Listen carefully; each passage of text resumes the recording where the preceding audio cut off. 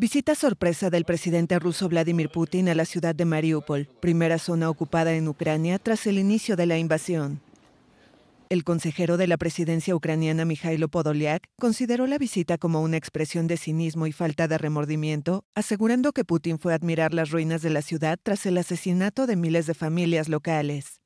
Según las imágenes difundidas por la televisión estatal rusa, el viaje tuvo lugar por la noche, lo que también fue criticado por las autoridades ucranianas. La ciudad portuaria, situada en la región oriental del Donbass, quedó devastada tras meses de asedio de las fuerzas rusas que la capturaron en mayo de 2022. Según el Kremlin, el mandatario llegó en helicóptero e hizo un recorrido por la ciudad conduciendo un vehículo él mismo. También se le vio conversando con residentes. Visitó además la recién reconstruida filarmónica local y recibió un informe sobre los trabajos de reconstrucción de Mariupol.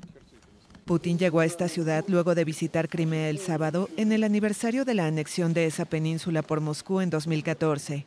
La visita no supuso ninguna pausa en las operaciones militares en el este de Ucrania.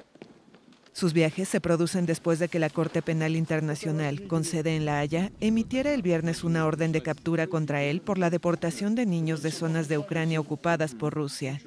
Kiev asegura que más de 16.000 niños ucranianos han sido deportados a Rusia desde el inicio del conflicto. Putin deberá estar de nuevo en Moscú el lunes para la llegada del presidente chino Xi Jinping, con quien firmará una serie de acuerdos.